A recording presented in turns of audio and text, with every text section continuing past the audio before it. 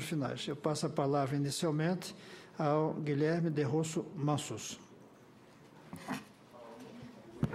Alô, bom dia. Tem, Amanda, você pode colocar a apresentação, por favor? É, bom dia a todos, pessoal. Eu sou eu sou Guilherme, sou ex-bolsista do Ciência Sem Fronteiras. É, fui para os Estados Unidos no primeiro edital da CAPES. Só esperar a apresentação aparecer ali e a gente começa. Saudar o senador professor Gustavo Buarque, nenhum deles, saudar todos os presentes aqui. Bem, vamos lá. É, primeiro eu queria mostrar essa foto, na verdade, que é uma, uma lembrança muito boa. Isso foi em dezembro de 99, na minha formatura do ABC. Foi a primeira vez que eu me lembro de ter segurado o microfone.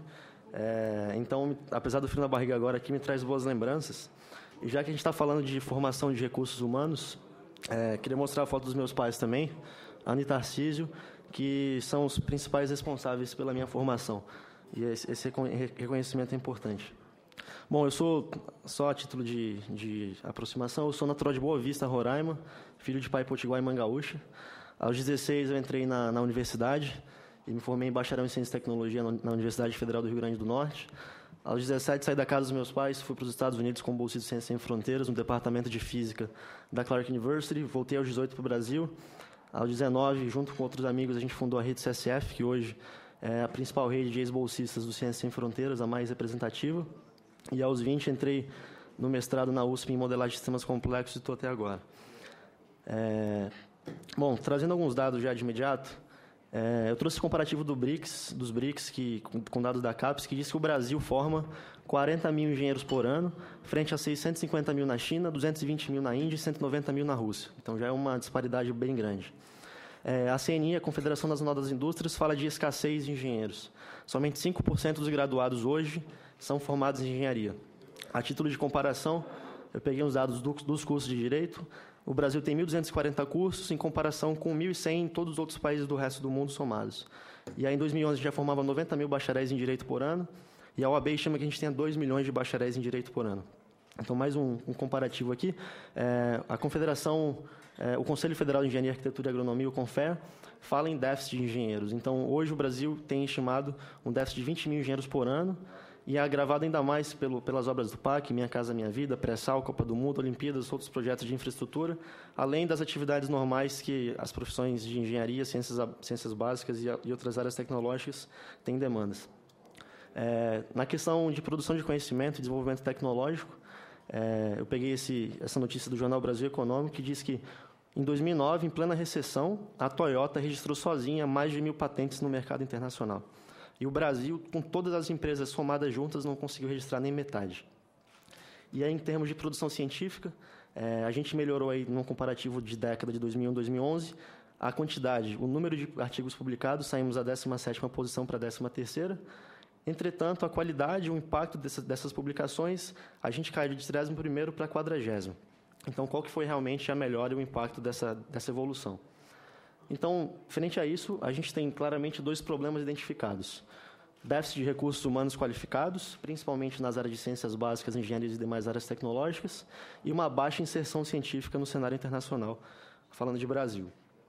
É, então, para isso, é, eu trago aqui a, a, Estratégia Nacional de Ciência, Tecnologia e Inovação, que foi desenvolvida pelo Ministério, pelo MCTI, e fala assim: as linhas de ações da NCTI 2012-2015 visam, igualmente, ampliar e robustecer um, a formação de recursos humanos estratégicos, com foco nas ciências básicas e nas engenharias, e o consequente aumento da inserção da ciência brasileira nas redes internacionais de P&D. Claramente atacando aqueles dois problemas que os dados mostraram mais atrás de recursos humanos e de, de produção científica e desenvolvimento tecnológico. E aí, com, com a estratégia nacional, um comparativo com Ciência Sem Fronteiras, é, se a gente for lá no site do Ciência Sem Fronteiras, diz assim: um programa que busca promover a consolidação, expansão e internacionalização da ciência e tecnologia, da inovação e da competitividade brasileira, por meio do intercâmbio da mobilidade internacional, e aí complementando de recursos humanos. Então, novamente, aqueles dois pontos alinhados com a situação do Brasil, com a estratégia nacional. Então, Ciência Sem Fronteiras surge nesse contexto, de solucionar problemas que o Brasil tem. É, e aí, voltando lá para o índice, se a gente for, for, ver o índice, a estratégia tem dois capítulos. Então, o capítulo 1 não dá para ver aí, vamos ver esse zoom. Tem uma seção no índice que fala programas prioritários para os setores portadores de futuro que o Ministério da Ciência, Tecnologia e Inovação considera para o país. Gravem as palavras-chave. Tecnologia da Informação e Comunicação, TICs, Fármacos e Complexo Industrial da Saúde, Petróleo e Gás, Defesa, Aeroespacial, Nuclear, Biotecnologia, Nanotecnologia, Energias Renováveis, Biodiversidade, Mudanças Climáticas, Oceanos e Zonas Costeiras, Ensino de Ciências, produ Inclusão Produtiva Social e, e Cidades Sustentáveis. E aí eu fui no site do Ciência Sem Fronteiras também, e aqui na, isso foi o que eu falei, está na coluna da esquerda, e na coluna direita, é, as áreas prioritárias contempladas pelo programa Ciência Sem Fronteiras. Então vejamos: engenharia e demais áreas tecnológicas, ciências exatas e da terra, biologia, ciências biométricas e da saúde, TICs, computação e tecnologia da informação, aeroespacial, fármacos, produção agrícola, petróleo, gás e carvão, energias renováveis, tecnologia mineral, biotecnologia, nanotecnologia, desastre, mitigação de desastres naturais, biodiversidade, ciências do mar, indústria criativa, engenharia construtiva e formação de tecnólogos. Alguma semelhança? Vários, né? É, então, o Ciência Sem Fronteiras tá, veio, apesar de muito rápido, veio numa, numa demanda de país, de formação de recursos humanos e internacionalização, dentro de uma estratégia proposta pelo Ministério. É, então, claramente, o programa Ciência Sem Fronteiras é, é, é, é um, é, um, é um dos catalisadores para a solução desses problemas. E aí, falando de Ciência Sem Fronteiras, vou tentar trazer, nesse meu pouco tempo, um pouco da minha experiência. Então, academicamente, foi uma experiência fantástica. É, a experiência de você ter aula nas, nas, melhores infraestruturas de laboratórios, apresentar trabalhos acadêmicos em, em, congressos internacionais, visitar as melhores infraestruturas do mundo. Aqui, nesse caso, uma visita a, ao Cabo Canaveral, na NASA. A gente visitou também o centro de lançamento que lançou o foguete da Apollo 11 para a Lua. É, cultural também, porque a gente tem a oportunidade de visitar lugares, de conhecer pessoas e novas culturas. Profissional também, de como, por exemplo, dar aula de robótica para alunos de quinta série, ou trabalhar por oito meses num laboratório com uma equipe de oito pessoas, e dessas oito pessoas, seis nacionalidades diferentes. Então, profissionalmente, isso é muito bom. E mais do que isso, que eu acho que perpassa todas essas experiências, a experiência pessoal de, por exemplo, encontrar lideranças como o Prêmio Nobel de Física 2006, Professor John Mather, Prêmio Nobel de Economia 2007, o Professor Eric Maskin, ou lideranças empresariais como Jorge Paulo Lema, o presidente da República na Escola de Governo de Harvard. É, mas e aí? O que acontece depois que a gente retorna ao Brasil? Um programa de 6 bilhões, 6,5 bilhões, não sei os dados exatos, é, de investimento, e depois que a gente volta? Em 2014, a título de informação, 40, a CAPES disse, CAPES NPq, 40 mil bolsistas já foram e já retornaram, e para 2015, mais 35 mil, então já estão retornando ao Brasil. E agora? Então, acho que a primeira reflexão, a segunda reflexão, a primeira foi que o programa Ciência Sem Fronteiras é uma demanda do país e é importante que se mantenha o, o, o, foco na solução desses problemas, seja com Ciência Sem Fronteiras ou não, mas o Ciência Sem Fronteiras atende bem de qualquer forma. É, a segunda reflexão é o retorno. Eu acho que agora é, o país, assim, até por cobrança da sociedade, das universidades, das empresas do governo, como que a gente vai manter esses, esses, esses recursos humanos, esses profissionais aqui no Brasil e como que a gente vai dar infraestrutura, recursos e um ecossistema capaz para a gente reter desenvolver e fomentar esses talentos como por exemplo a revista Politec, do André Sionek, lá do Paraná, que é gratuita. Ele vendeu o carro dele para iniciar esse projeto e hoje já distribuiu mais de 120 mil exemplares em mais de 80 universidades brasileiras. Eu estava conversando com ele anteontem, ele estava preocupado porque estava querendo largar porque não tinha recurso financeiro, precisava pagar conta e ele está se dedicando à revista e não tem fomento nenhum, nem de empresa, nem de governo, nem de universidade. É... Ou o caso da rede CCF mesmo, que eu faço parte, hoje a gente tem mais de 1.800 membros é, de todas as unidades da federação. É, e a gente realiza fomentos de discussão com, com o MEC, com as universidades, com empresas, compartilhamento de experiências, é, até desenvolvimento de novos projetos, com, aqui nesse caso com a Embaixada Britânica, mas também com as universidades, projetos sociais também, como a Escola de Verão, de verão que está sendo desenvolvida para levar temas não convencionais para a escola pública, de acordo com a experiência dos, dos ex-bolsistas. O caso do Daniel Lopes, que é formado no ITA, foi para o MIT, desenvolveu patentes lá, desenvolveu patentes aqui, ganhou o prêmio de robótica especial da, espacial da NASA e hoje trabalha com impressão 3D, tem empresas com tecnologia própria. Como que a gente pode fazer com que mais exemplos como o Daniel se repliquem? Ou do Pedro Neme, que é daqui de Brasília, é, nem formou engenharia elétrica ainda na UNB, foi para a NASA em 2012 pelo Ciência Sem Fronteiras e vai ser o próximo astronauta brasileiro, o primeiro astronauta civil. Como que a gente faz para a gente ter mais exemplos como esse e que é, as, a, os países lá de fora não levem esses talentos daqui do Brasil e a gente consiga manter isso aqui. Então, acho que essa reflexão do pós-mobilidade é, é, é, algo bastante importante. O exemplo da, Mar, da Marcela Alves, que, foi, que veio de Aratuba, uma cidade do interior do Ceará de 11 mil habitantes, é, se formou em ciência da computação agora e foi a primeira mulher brasileira a ir para a Wolfram Science Summer School. É, e agora, recentemente, na semana passada, estava pedindo dinheiro, doação do Facebook, para ir para um congresso internacional global é, em Porto Alegre. Aqui no Brasil, ela quase que não conseguia ir. E, recente, e agora está vindo para, nesse semestre Mas ela já fez o Ciência Sem Fronteira? Já fez, já fez. Mas ela não era para estar tá pedindo dinheiro, ela era para estar tá produzindo para o Brasil já, né? Não, tá Nós produ... pagamos para ela ir, ela volta para cá e quer ainda Mas, viajar assim, mais? Ela vai fazer mestrado na USP agora. Eu sou mestrando, eu ganho R$ 1.500 por mês. Pois é, não, mas é. sabe o que, que é, amigo? É o seguinte, o Brasil faz um investimento para que depois essas pessoas voltem para cá e produzam. Uhum. Correto? E o que eu estou vendo aí é que tem nego querendo ser astronauta, meu compadre. Primeiro nós temos que resolver o problema básico nosso de tecnologia para depois a gente pensar mais alto. A gente tem, tem que subir degrau a degrau. É, por isso dessa proposta do Senado para a gente realmente debater esse custo-benefício. Nós temos tendo um custo mandando esses alunos, qual é o benefício que o povo brasileiro está tendo? Até agora eu não vi absolutamente nada. Eu vi um cara querendo que vendeu o carro para fazer uma, uma revista, eu vi um outro que ainda não se formou e quer ser astronauta. Quer dizer, absolutamente, absolutamente nada concreto. Desculpa, uhum. mas eu, tô aqui, eu quero ser muito objetivo. Essa, essa proposta aqui é objetiva. Se for para a gente virar sonhador, Aí não dá. O governo está jogando dinheiro fora. Porque tá bom, do ponto de vista pessoal, ah, eu fiz um intercâmbio cultural, ah, eu conheci fulano de tal, ah, eu fiz isso. Mas do teu ponto de vista pessoal, você não está lá para o teu ponto de vista pessoal, você está lá com o recurso do povo brasileiro para que você traga tecnologia para nós. Então, se a gente for, é, senador Cristóvão, ver do ponto de vista pessoal, é ótimo viajar, é ótimo conhecer pessoas, mas traz o quê? para os nordestinos, para as, as, pessoas que moram no norte do país, para as pessoas que querem tecnologia. Tem aí uma, um, uma discussão sobre o que é que nós temos que formar lá fora primeiro. Por isso que para mim a inversão é muito maior. É, eu acho que formar, trazer pessoas para dar contribuição e ensinar aqui no Brasil é muito melhor do que mandar alguns para fora, porque realmente cada um está indo para lá no ponto de vista, ah, eu quero isso, mas não é você que quer. É o Brasil que quer. Isso, exatamente. Tá certo? Aí nós temos que definir. É para o ponto de vista, vamos mandar 200 mil jovens que têm interesse de viajar, fazer intercâmbio, mas sobra o quê para o povo brasileiro? É, concordo com você. Né? Porque você já voltou. Já voltei. Estou fazendo mestrado E concretamente, agora. o que, que você fez para o Brasil, concretamente, você aprendeu alguma coisa, chegou aqui e colocou em prática o quê? Abs sabe, alguma coisa em prática. É isso que nós estamos tentando saber aqui, para que a gente possa aprimorar. Para mim, é um dos maiores projetos educacionais que o Brasil teve, que é o Ciência Sem Fronteira. É, para mim, um dos maiores projetos. Né? Sou totalmente contrário a você ir para lá é, como ainda se graduando. Não, eu acho que é, é uma pós-graduação que tem que ser feita. Você está numa área, então você vai se pós-graduar nisso aqui, vai fazer doutorado, alguma coisa trazer para cá esse conhecimento. Não é para fazer uma viagem, passar oito meses. Eu vi você visitando a NASA, é bonito, ó, conheci a NASA, tirei umas fotos lá, legal, bacana. Agora, concretamente, amigo, esse dinheiro que o Brasil gastou contigo, o que, que você já deu de retorno para gente? Certo, legal. É, concordo plenamente com você que o foco aqui é Brasil. É, só a título desses exemplos que eu dei. O Pedro, que vai ser astronauta, ele foi para a NASA, ele foi estagiário da NASA durante oito meses, desenvolveu.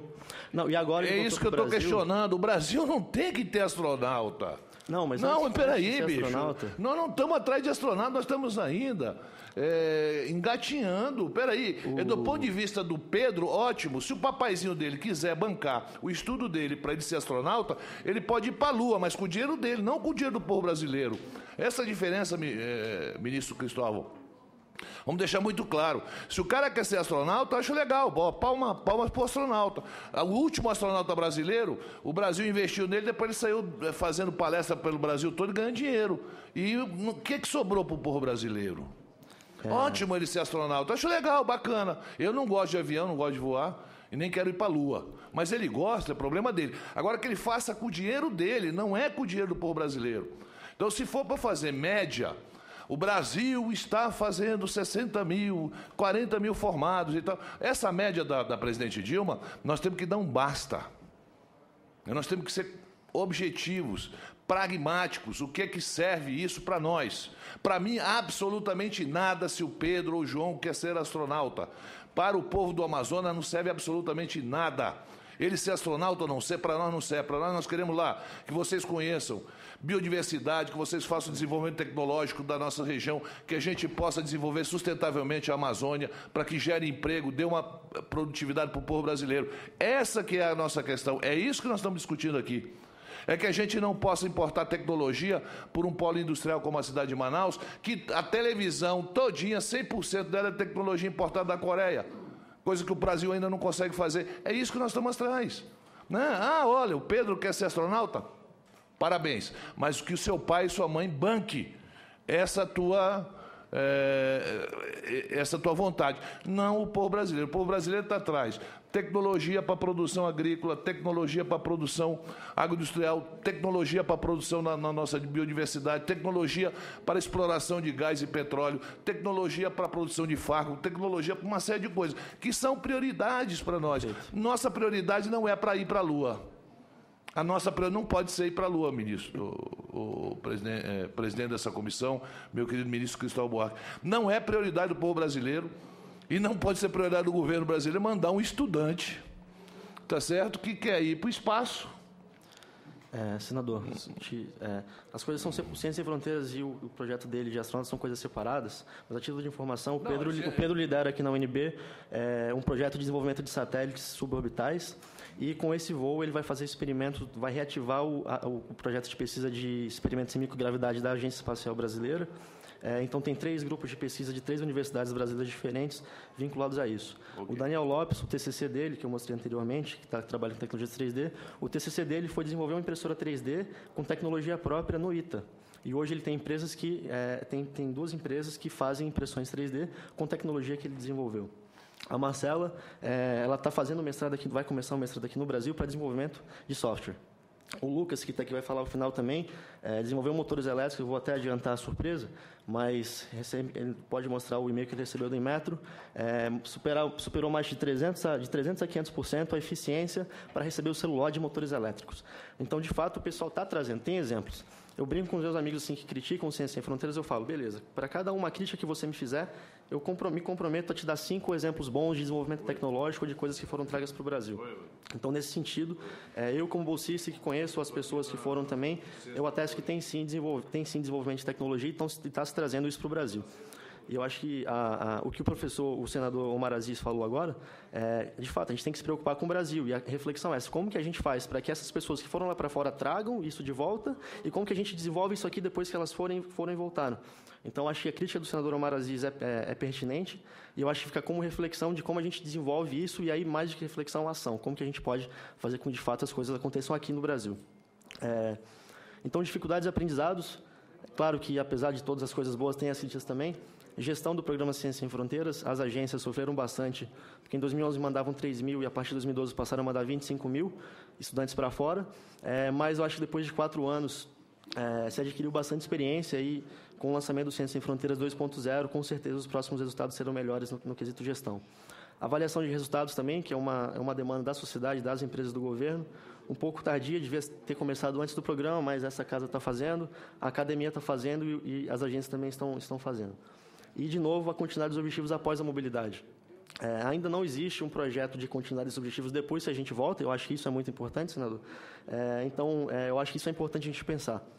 Aqui, quase finalizando, um mapa de alcance do programa Ciência Sem Fronteiras. Então, a gente não foi para quaisquer lugares. Fomos, de fato, para os Estados Unidos, para a Europa, para a Ásia.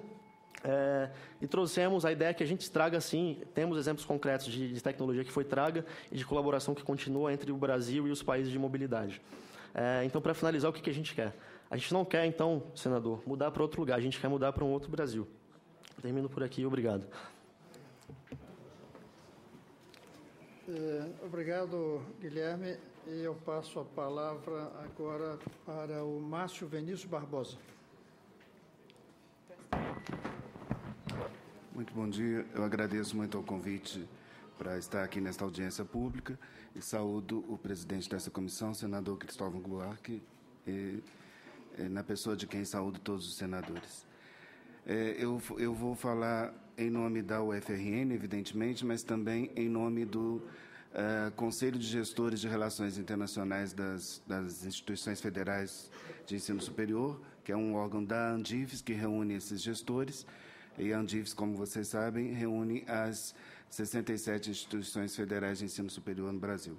63 universidades, mais dois Cefetes e dois IFs. Ah, a minha, a minha fala vai seguir esses três pontos: a internacionalização nas, nas instituições federais antes do Ciências Sem Fronteiras, o lançamento do programa e os problemas enfrentados, e a continuação necessária e as modificações sugeridas pelas eh, universidades. Antes do Ciências Sem Fronteiras, algumas universidades, não eram muitas, já faziam uma internacionalização através de acordos bilaterais das próprias universidades com instituições estrangeiras, de acordos bilaterais da CAPES, que eh, acolhe projetos apresentados pelas universidades eh, brasileiras em parceria com, com universidades estrangeiras, através da participação de professores nossos em grupos de pesquisa estrangeiros e através de alguns programas mantidos pelo MEC, como o PECG e os projetos desenvolvidos no âmbito do Mercosul. Só para registro, o PECG seria a experiência mais antiga de internacionalização nas universidades, que é um programa que já tem 50 anos e recebe alunos de países eh, em desenvolvimento. A internacionalização sempre aconteceu nas, nas universidades federais em níveis bastante diferentes. Uh, várias universidades, quando aconteceu Ciências Sem Fronteiras, sequer tinham uma área de relações internacionais estruturada. Quando havia algum contato com, com o exterior, normalmente era um professor de inglês que ia ajudar o reitor fazendo traduções, mas muitas delas sequer tinham uma política de, de relações internacionais, uma política de internacionalização. Ah, ah, isso acontecia principalmente porque a predominância da cooperação em pesquisa com, em projetos internacionais se faz mais pela, é, pela, pela pesquisa e não pelo ensino. Então, nisso, Ciências Sem Fronteiras foi uma, uma inovação, porque ele privilegiou as relações de ensino. O lançamento do, do, do, programa introduziu repentinamente o tema da internacionalização em todas as IFES, aquelas que já tinham uma boa estrutura, as grandes universidades federais, e aquelas que não tinham nunca feito sequer um acordo internacional. Isso foi problemático tanto para um lado quanto para o outro. Para um lado, porque as pequenas tiveram de se estruturar repentinamente para fazer é, para dar resposta a uma demanda grande e repentina de trabalho, e as grandes porque tiveram de adaptar o que já tinham e que já funcionava a uma nova proposta que muitas vezes concorria com o que já havia sido organizado por elas. Então, isso exigiu uma, uma adequação de estruturas ah, ah, para responder esse grande volume de trabalho, exigiu organização interna nas universidades para criar resoluções que permitissem eh, enviar alunos, em que condições, que critérios estabelecer. Isso tudo aconteceu em todas as universidades, sem exceção. Então, esse esforço foi muito grande por parte das agências que, que, que trabalham na gestão do programa. Sempre se disse isso, né? elas sempre nos disseram isso. E a gente reconhecia que era um volume grande para elas, mas também exigiu das universidades federais. Todas nós tivemos de nos adequar para responder às exigências do programa. No princípio, havia, e isso permanece de alguma forma, uma, uma grande dificuldade de comunicação com a CAPES e o CNPq. Não quando há algum problema.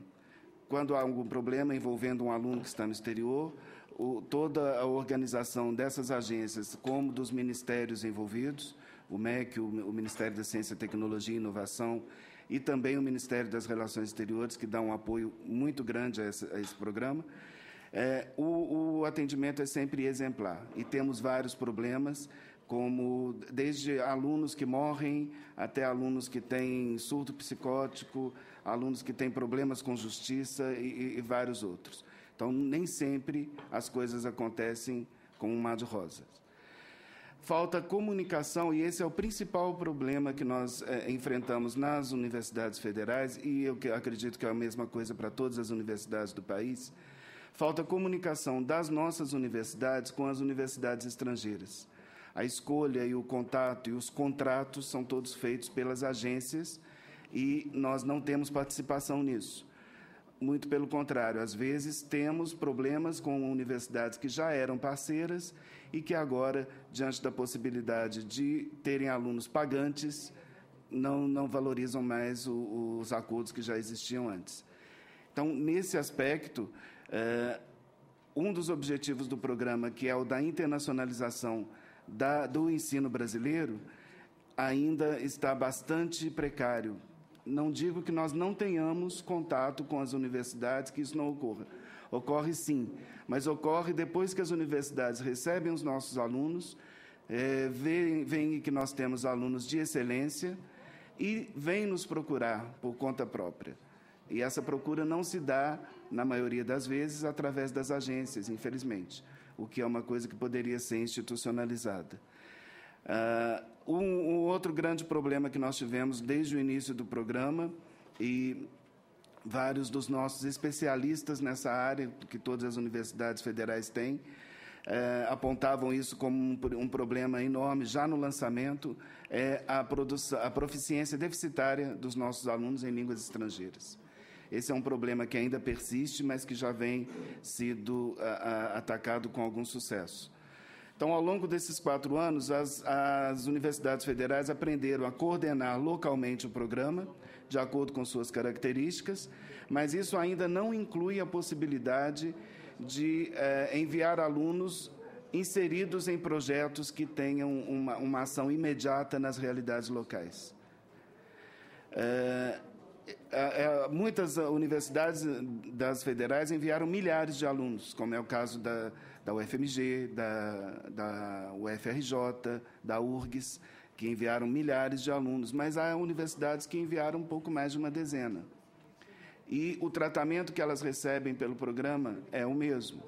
Elas têm as mesmas regras, mas ah, no, quando se trata da, da seleção interna dos candidatos, todas elas criam seus critérios próprios, de acordo com, com o funcionamento de cada universidade, normalmente baseado no rendimento acadêmico dos candidatos e no índice de reprovações que eles tiveram na tentativa de mandar ao exterior sempre alunos de excelência que possam dar o retorno adequado ao programa.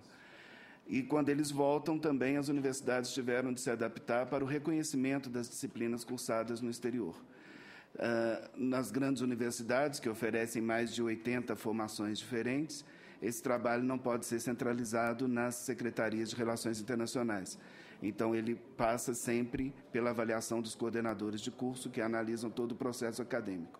Então, cada aluno que sai numa universidade federal é, é, tem o seu plano de estudos analisado e depois, quando volta, o que ele fez é também acompanhado. Essa é a única avaliação que nós temos no momento. Não temos ainda uma avaliação dos resultados dos alunos depois que eles voltam.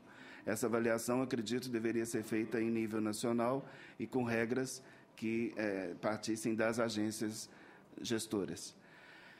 As áreas de relações internacionais se estruturaram também, é, ainda que minimamente em alguns casos, com o apoio de organismos como a Segrifes, que eu tenho a honra de dirigir, a Abruen, que reúne os gestores de, de que tem um órgão interno que reúne gestores de relações internacionais nas universidades estaduais e municipais, a FAUBAI, que é uma associação de gestores de relações internacionais de todas as universidades brasileiras, e alguns outros, algumas outras redes de universidades.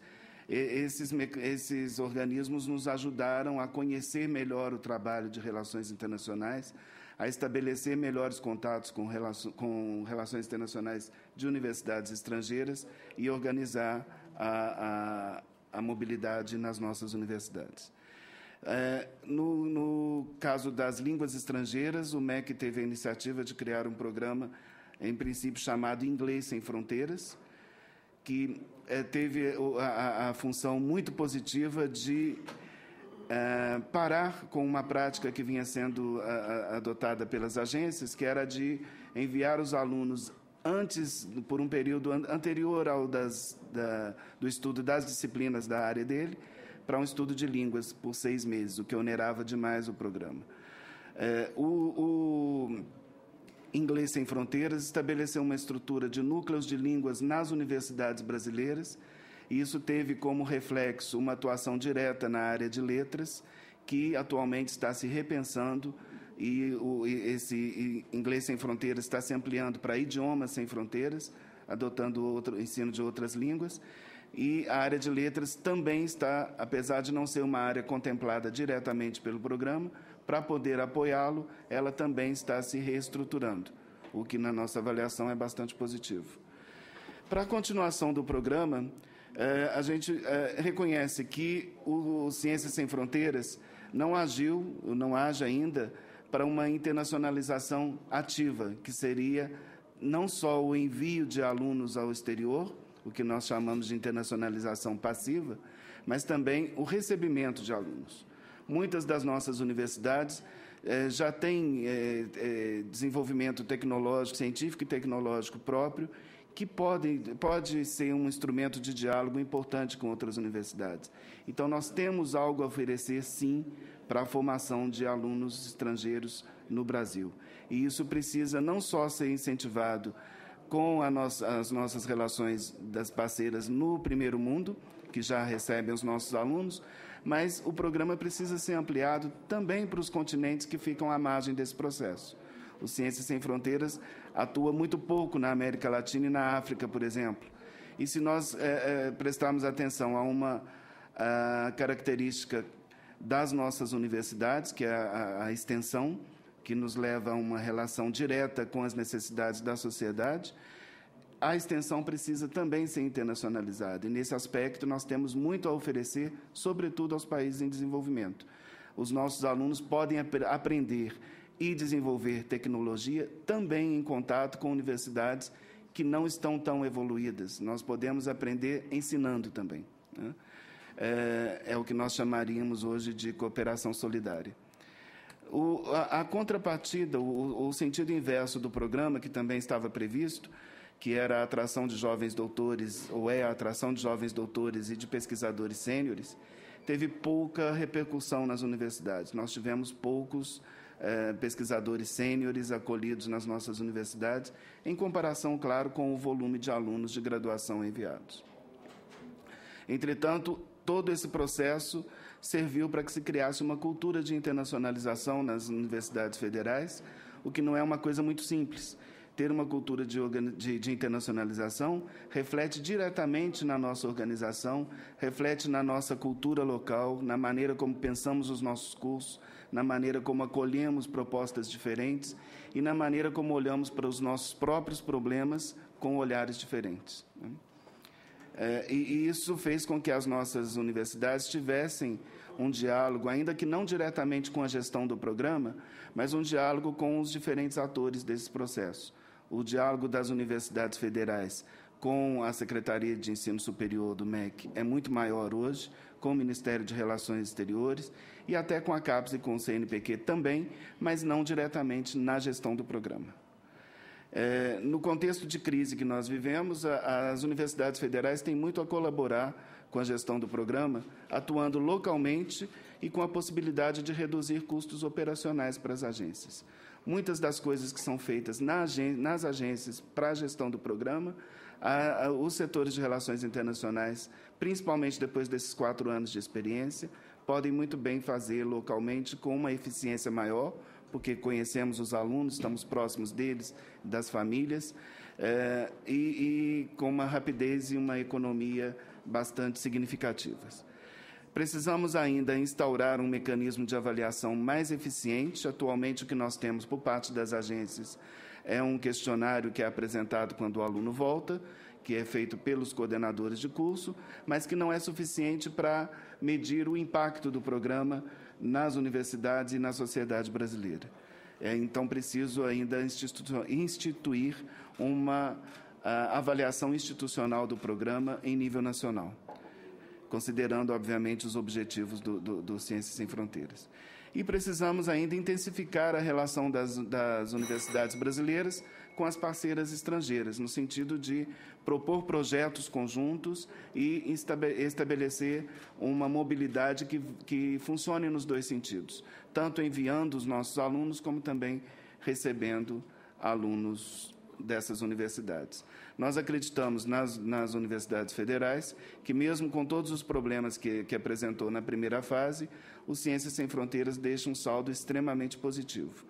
O Brasil ganhou visibilidade no cenário da educação superior e isso nós eh, constatamos com a nossa participação em feiras internacionais de, de educação superior e com a procura que temos de, de, de países do, do, das mais diversas regiões pelas nossas universidades e as instituições federais estão prontas a contribuir de forma mais atuante com o programa e prontas a participar dos debates em torno das regras para uma nova fase, o que não aconteceu na primeira fase não aconteceu ao longo do processo. Nós fomos ouvidos, sim, mas nunca de uma forma decisiva, nunca participando do planejamento. É isso que eu gostaria de dizer agradeço.